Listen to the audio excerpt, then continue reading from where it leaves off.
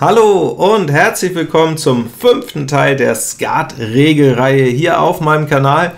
Heute wollen wir die Sache abrunden mit der einen fehlenden Zutat und das sind die Nullspiele. Das ist so ein bisschen wie Gegenteiltag. Alles, was ihr gelernt habt, müsst ihr so ein Stück weit nochmal wieder vergessen und über Bord schmeißen. Alte Gewissheiten gehen über Bord, aber ihr werdet dann belohnt mit der Zutat, die so ein bisschen das Salz in der Suppe des Skat-Spiels ist.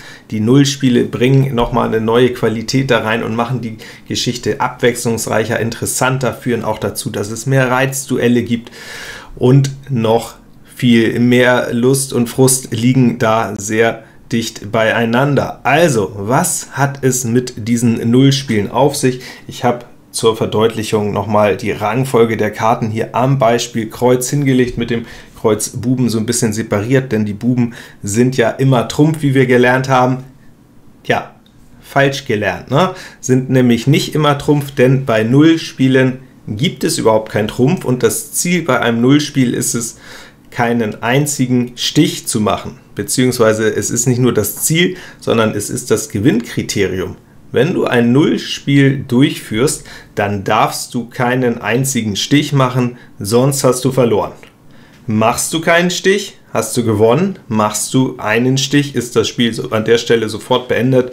Weiterspielen bringt dann gar nichts mehr. Und bei Nullspielen, das ist also ein bisschen wie Gegenteiltag. Ne? Ähm, nichts bekommen, statt möglichst viel bekommen. Aber bei Nullspielen, wie ich eben schon so implizit andeutete, geht es gar nicht um Augen, sondern nur um Stiche. Das heißt, die kompletten Augen kann man vergessen und man kann auch die Trümpfe vergessen. Bei Nullspielen gibt es keine Trümpfe.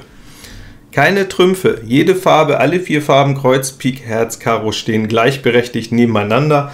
Und jetzt lege ich noch einen drauf. Entsprechend ist natürlich die Frage, wo sortiert sich der Kreuz Bube ein? Er ist hier nämlich dann nicht mehr die höchste Karte, sondern er sortiert sich ein hinter der Dame und dann ist es mit der 10 genauso. Also hier wird es nochmal richtig krass. Die Reihenfolge ändert sich plötzlich. Die 10 sortiert sich auch so ein, wie man das aus herkömmlichen Kartenspielen, nenne ich sie mal, kennt, aus vielen anderen Kartenspielen. Im Prinzip also nochmal zurück auf Start und ihr habt wieder die Reihenfolge, die ihr eigentlich kennt. 7, 8, 9, 10, Bube, Dame, König, Ass, wie ihr es auch vom Solitär kennt oder vom Horme. Ja? Ähm, ganz einfach, keine Trümpfe, auch wieder einfacher, keine Augen, auch wieder einfacher, aber dafür das neue Spielziel keinen einzigen Stich bekommen. Ja, und das ist es dann an sich schon. Natürlich brauchen äh, die Nullspiele jetzt auch Reizwerte. Ne? Und logischerweise können wir die Nullspiele nicht über die Spitzenreizwerte berechnen, mit wie viel Trümpfen, denn es gibt ja gar keine Trümpfe. Aber da gibt es zum Glück eine ganz einfache Regel. Die Nullspiele haben auch einfach feste Reizwerte. Da muss man gar nicht rechnen, das muss man nur wissen.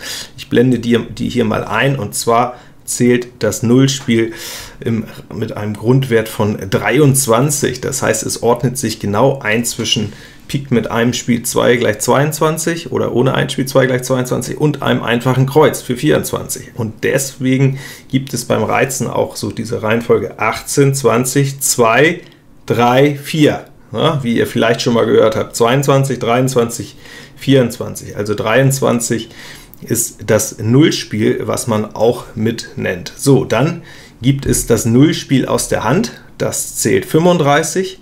Der Nullouvert für 46, das bedeutet, man zeigt sofort seine kompletten Karten. Dann macht man es den Gegner natürlich leichter, einem einen Stich unterzujubeln.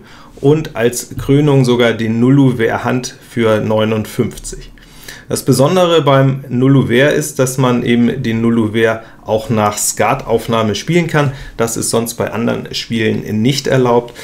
Ähm, bei Hand- und Grand-Ouvert ist es sogar so, dass äh, diese Gewinnstufe die Schneider-Schwarz-Ansage erfordert. Beim Null ist das nicht der Fall.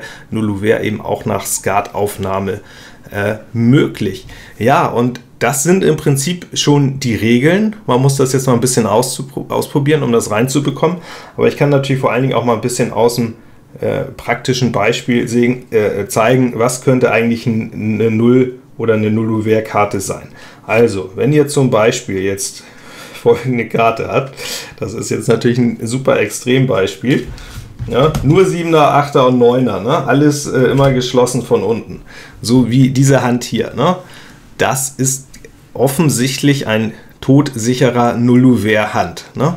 Da wird es unmöglich sein, dass ihr jemals einen Stich bekommt, egal ob ihr die erste Karte ausspielen müsst oder die anderen äh, spielen. Ihr werdet automatisch und immer unterbleiben. Ihr könnt gar nicht anders. Ne? Ähm, das ist, sage ich mal, ähm, eines der Extrembeispiele. Es ist aber auch manchmal gar nicht schlimm, wenn ihr eben hohe Karten in einer Farbe habt, wenn ihr entsprechend auch die ganzen kleinen Karten habt. Also nur mal angenommen, äh, ihr könntet auch alle Kreuzkarten etwa in der Hand haben. Und das Problem für die Gegenspieler ist dann, so, ich lege die 10 jetzt mal hier mit hin, ähm, Sie haben ja gar kein Kreuz in der Hand, das heißt, die Gegner können jetzt gar keine Kreuzkarte ausspielen und so gesehen könnt ihr auch keinen Stich bekommen, es sei denn, ihr seid eben in Vorhand und äh, spielt jetzt eine Kreuzkarte aus und dann können die anderen wieder nicht übernehmen. Ne? Das wäre natürlich dusselig, aber es gibt ja nur acht Kreuzkarten, da werdet ihr auch noch zwei andere haben und davon dann eine ausspielen. Ne?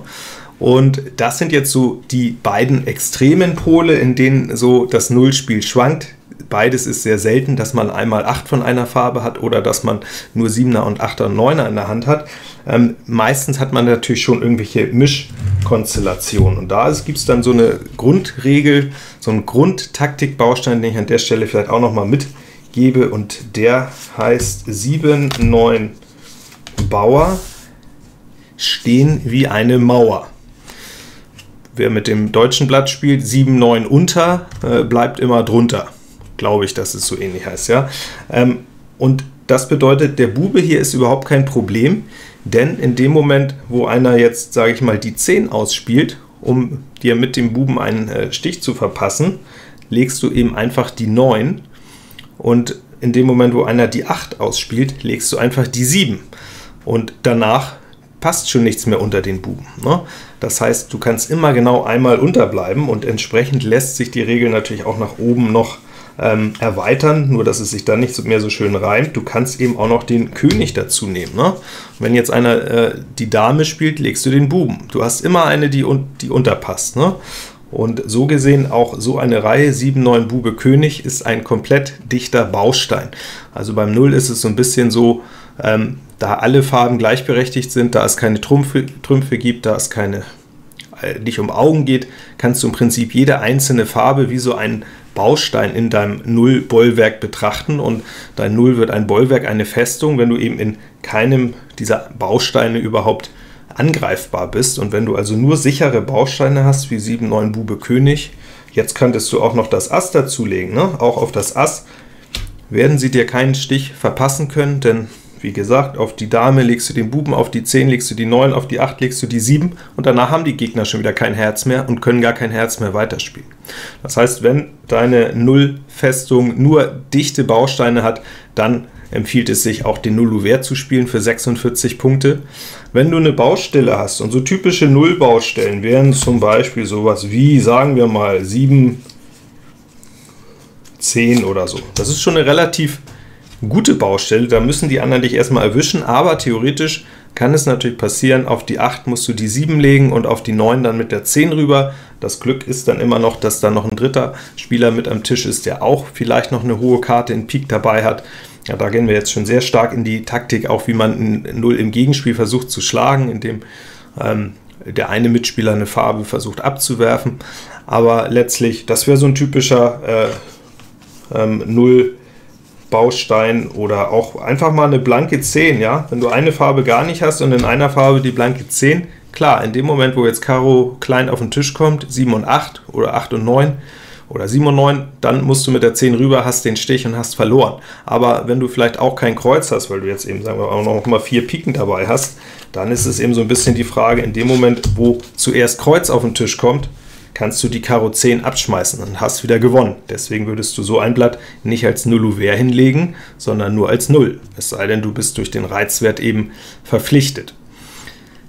Ja, soweit. Ich glaube, wir haben es. Ne? Das ist das Spiel, was so ein bisschen das Salz in der Suppe des Skates macht, weil eben auch so eine Nullouvert-Reizung Du reizt Nullouvert häufig, sage ich jetzt mal, mit diesem Blatt würde man gut Nullouvert reizen, in der Hoffnung, dass man noch eine passende Karte findet, ein Herz dazu, ein Pik dazu, in Karo eine 7 oder 8, in Kreuz eine 7 oder eine 8 und schon hat man äh, den sehr guten Nullouvert. Deswegen, dieses Blatt würde man auf Nullouvert reizen und damit fordert man so ein bisschen andere Blätter heraus, die jetzt vielleicht ein einfaches Kreuz Hand oder so haben und sich dann überlegen, ah, vielleicht versuche ich es doch auf Grang und damit wird das Spiel äh, ein bisschen abwechslungsreicher. Es kommt dann häufiger, also es provoziert auch mal ein Überreizen und damit ein höheres Risiko und damit mal ein paar Verlustspiele, ähm, was die Sache einfach viel interessanter macht und damit ähm, auch, wenn es jetzt am Anfang nochmal ungewöhnlich ist, auch wenn die Reihenfolge eben komplett anders ist und es feste Reizwerte gibt. Das Nullspiel ist super wichtig im Kon Gesamtkonzept, um Skat so interessant und spannend zu machen, wie es ist. Viel Spaß, das auszuprobieren und jetzt habt ihr die Regeln zusammen. Äh, jetzt könnt ihr richtig loslegen und durchstarten. Ich freue mich schon. Wir sehen uns bald am Skattisch.